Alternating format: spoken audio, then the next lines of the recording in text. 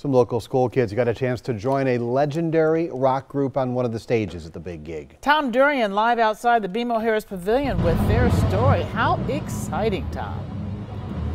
It is very exciting, Carol and Steve. And if you're at Summerfest and it's not loud, then I guess you're just not really here.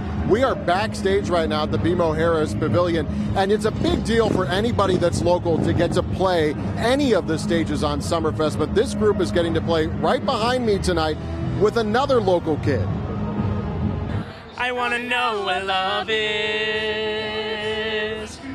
I want you to show me. The songs are part of American rock history, even if they may have come out long before you were born. I know is a band that's probably a little bit before your time, but nevertheless very big. Yeah, I'm super excited. I uh, knew a lot of their songs, but I just didn't know who Foreigner was. I didn't know the name. David Chrisbaum and Sophie Kepler are just two of the Pius High School choir members who will join another Milwaukeean, Foreigner bassist Jeff Pilson, on stage to perform the hit song, I Want to Know What Love Is. That's a very typical thing with us, where people, if you can say, do you know who Foreigner is? They'll say, mm, not really. And then you go, I'm as cold as ice.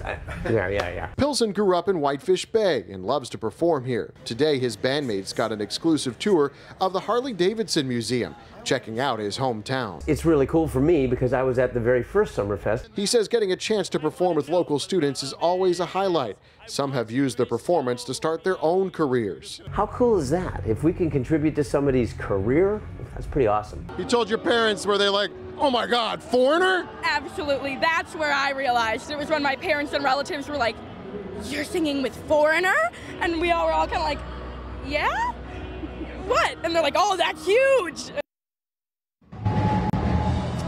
Well, they're about to make that happen here in about an hour. You can see Foreigner just took the stage on the BMO Harris Pavilion behind me. I've got the set list right here. Double Vision is what's up right now.